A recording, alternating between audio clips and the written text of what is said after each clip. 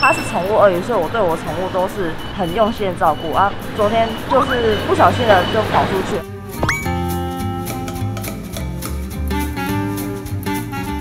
这只是眼镜凯门鳄，然后它已经二十四岁了。鳄鱼的名字叫小鳄，看着门外一副很想出去的样子，然后它就真的出去了。他是在怎么样的状况下跑出去的？当然就是门没关好啊。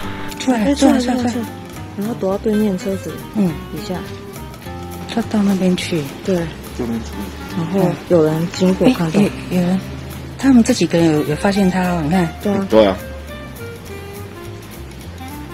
然后拍手电筒照，嗯，所以他有看到他走进去。三个路人看到鳄鱼快步逃离，然后小鳄继续逛大街。前天逃家，到现在都不见踪影。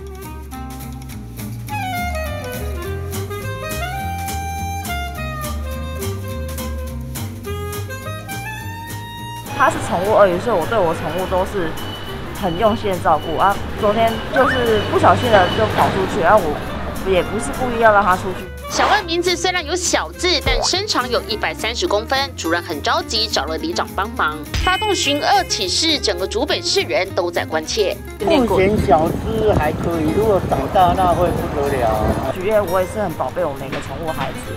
那我们这几天我这也都在找，那也很多单位也一起来帮我找。人家车发动手机，用灌水下去，代表没把它逼出来，因为它有。可能直接出去。灌水可以，可是因为我们看过这一条，里面都没有。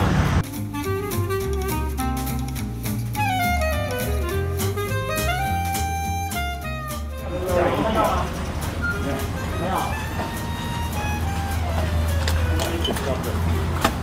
哇！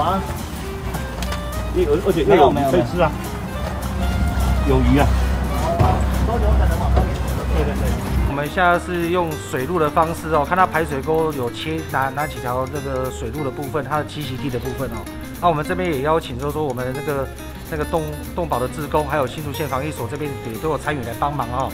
那现在就是需要耗时人力的部分，要花时间要把它找出来啊，确保我们市民的安全。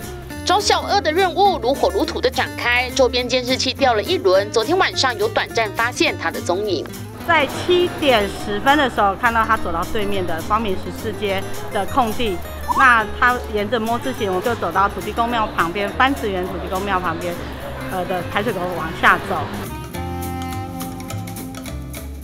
灌水没用，改在河边放置诱捕笼，沿线水沟都放了小鳄爱吃的生鱼。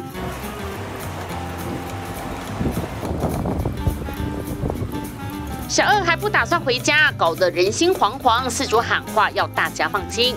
大家如果看到的话，请联络我，然后不要太过于害怕，因为它其实这只的个体它的攻击性、攻击行为是比较没有的，然后它是比较胆小害羞型的，所以可能看到人会逃跑，不至于会攻击。突发中心这种事情当然是我的疏忽啊，我也不希望发生。我现在只希望可以赶快把它找回来。报道。